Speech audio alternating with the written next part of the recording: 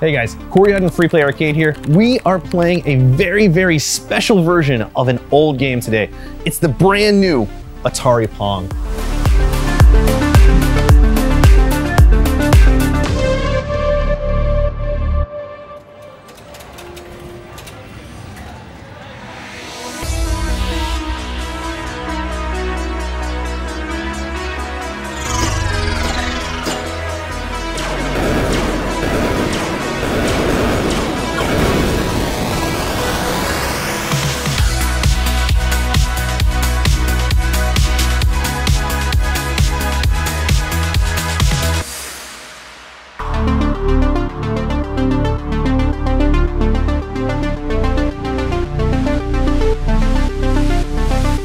One day we'll spend a few hours talking about the original Atari Pong, but today we're here to discuss the all new commercial electromechanical Pong table from Unis Technology.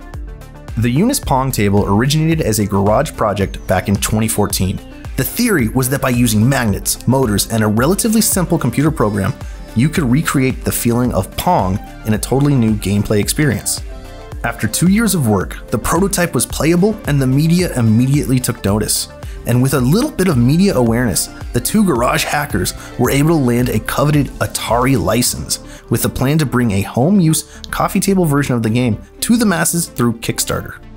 And while the prototype was enough to convince backers on Kickstarter to pledge more than $330,000 in early 2017, with hopeful delivery before the end of the year, large scale production appeared to cause various issues for the upstart company. This led to a partnership with Canadian arcade manufacturer and distributor Unis.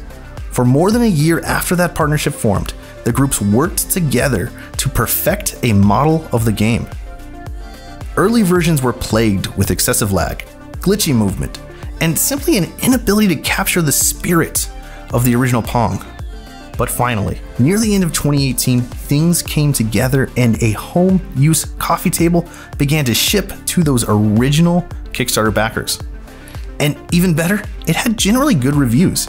Then, Unis capitalized on this technology and built upon it to create a full scale commercial model, which improved on every aspect of the game and truly delivers an engaging, Pong like experience in 2019.